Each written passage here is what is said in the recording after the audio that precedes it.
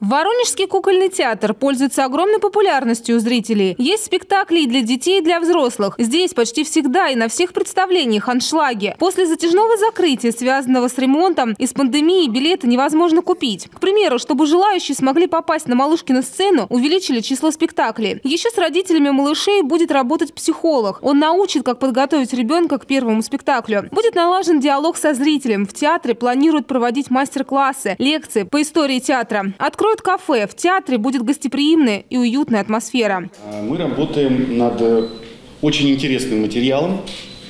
А, это сказки э, лауреата, э, лауреата золотой медали имени Андерсона Анни Шмидт. Такая нидерландская писательница великолепная, с замечательными сказками. И вот когда мы задумались об этом, мы с Александром Николаевичем выбрали там две сказки, но потом не смогли остановиться. И поэтому вот как-то решили, может быть, у нас получится формат такого сериала.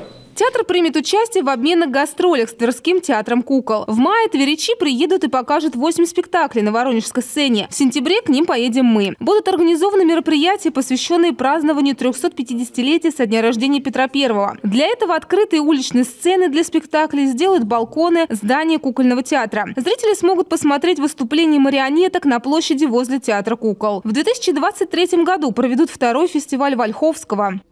Мы планируем его расширить, географию фестиваля, как российскую, так и международную составляющую. Продолжится ремонт театра кукол. Отремонтируется площадь перед театром. Сделают фонтан «Дюймовочка». К столетию театра к 2025 году планируется полностью закончить реконструкцию здания как внутри, так и снаружи. Сцена уже будет оборудована, собственно говоря, верхней и нижней механикой, оборудована звуковым, световым и видеооборудованием. И я считаю, что наш театр будет не уступать столичным театрам. И еще одна новость. Вскоре изображение театра кукол на воронежских конфетах в обертке зеленого цвета поменяют на фотографию обновленного театра. Репертуар кукольного, как видим, постоянно обновляется. Но не забудутся и полюбившиеся спектакли Вольховского. Они по-прежнему будут идти для зрителей. Олеся Лисюк, Валерий Бобкин, 41 канал.